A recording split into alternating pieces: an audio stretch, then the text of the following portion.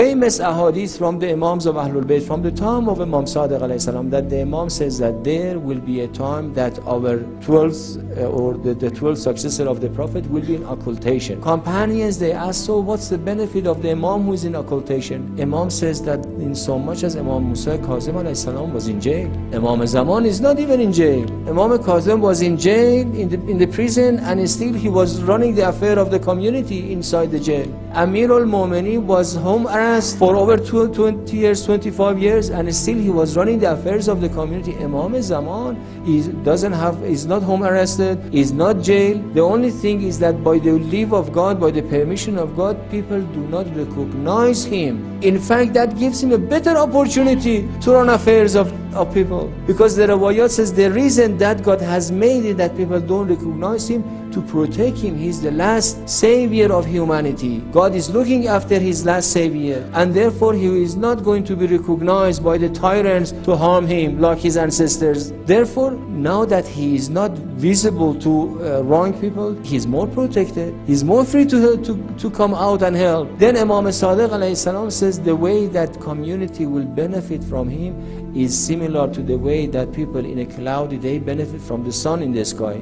When there is a the sun is always in the sky and it's functional, even when it's cloud. When there is a cloud day, if you want to get a tan, still in Nairobi you can get a tan. UVA, UVB rays still come and uh, you know influence, touch your, your skin even though you don't see the sun. Clouds have covered the sun, but sun is functional. It's not that because I don't see the sun. What's the use of this sun in the sky, God? God says only if I had removed it, then you would find out.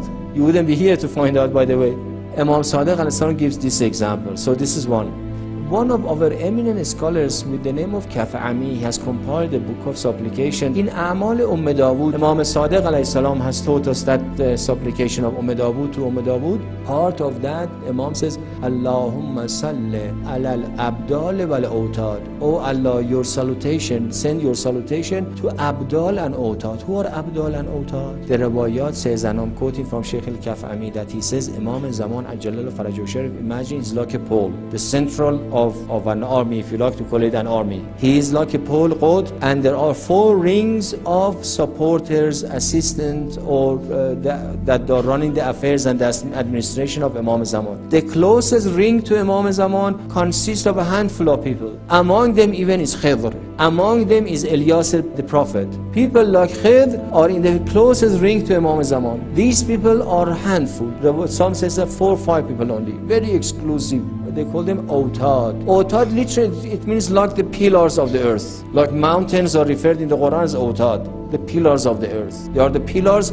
for Imam Zaman, for the government of Imam Zaman, not for the time of appearance, even at the time of occultation, to run the affairs. A bigger circle is called Al-Abdal. Abdal are those, like the Rawayat says that there are about 40 people extinguish 40 people at every time. They are not going to live long like Imam Mahdi. At every age they exist. Some of the very outstanding figures, absolutely dedicated to the command of Imam Zaman. That like Ayatollah Bahjat, I'm quoting from his oldest son, he said, I asked my dad once, Dad, what is this Tayyul Ard? Is it true that in a blink of an eye it's possible for awliyaullah to go from one part of the world to another one? Blink of an eye. Quran of course confirms that, you know the story in Surah Sabah. And Ayatollah Bahjat is telling his son that Baba Tayyul Arz is easy. Ask me about Tayyul Sama. So these are these uh, uh, Abdal that uh, every time any of them dies, God is replacing them with another one similar to them. Once upon a time it was Allame Qadhi, then it became maybe Ayatollah Bahjat, and at every time they are, they are. They are also executing the affairs and the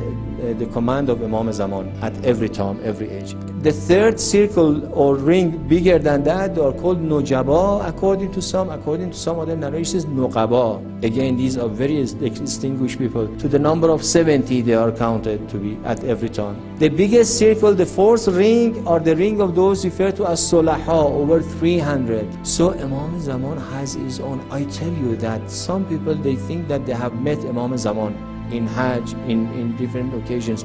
Not realizing that in fact, not that it's not possible to see Imam Zaman. It is possible. There are people that they have seen actually the beloved Imam. But very often, many people they see either the Abdal or Otad or Nujaba. And because they are representatives of the Imam, they do certain things that looks miracle to you. And they share certain miraculous words with you. They are the representative of the Imam, not the Imam himself. But anyway, they are the executors of the will uh, and the command of Imam Zaman. زمان